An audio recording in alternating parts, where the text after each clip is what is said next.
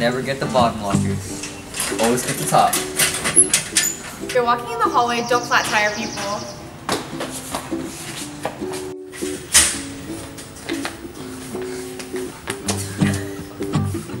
Walk through senior hallway because it's the biggest hallway.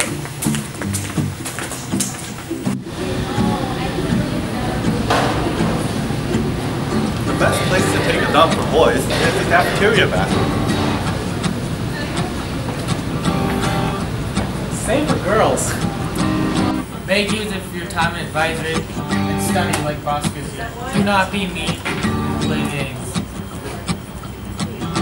So after all the bad grades on my transcript, I recommend any incoming freshman to spend their spare time studying here in the library that they have and get good grades. And make sure when you're here, you don't eat or drink and you're quiet.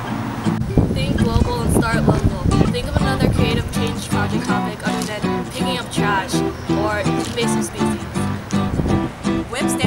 Issues Project, and it really does help you see the world in a different way.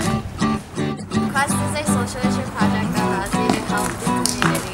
And don't procrastinate the night before the due date. So vending machines are a great source of snack, and they're easy to get during lunch and break. But don't forget to those since they might eat them. Of course, it's possible to buy lunch in the cafeteria, but did you know you can also buy breakfast here during break? Club Rush is an event where all the clubs come together is boys' locker room. Wash clothes every day because it smells. Here at Irvington, we don't run the mile. We run the boat. It's slightly longer than a mile, so pace yourself. Hi, this is the pool. Never smooth diarrhea. Oh gosh. Oh, ROP gives you a chance to make friends from different schools.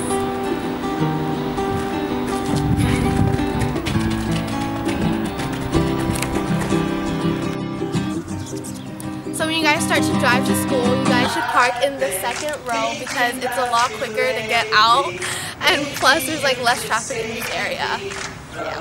Okay, so this is how you guys should park your car. And this is how you probably should park.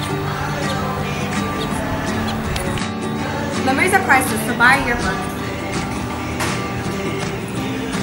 As a high school student, you're going to be facing a lot of stress over a long period of time, have a lot of trouble managing that. So it's important to keep in mind to prioritize yourself over your education and to take breaks when you need it, to manage your sleep schedule wisely and to not waste time, and to always maintain your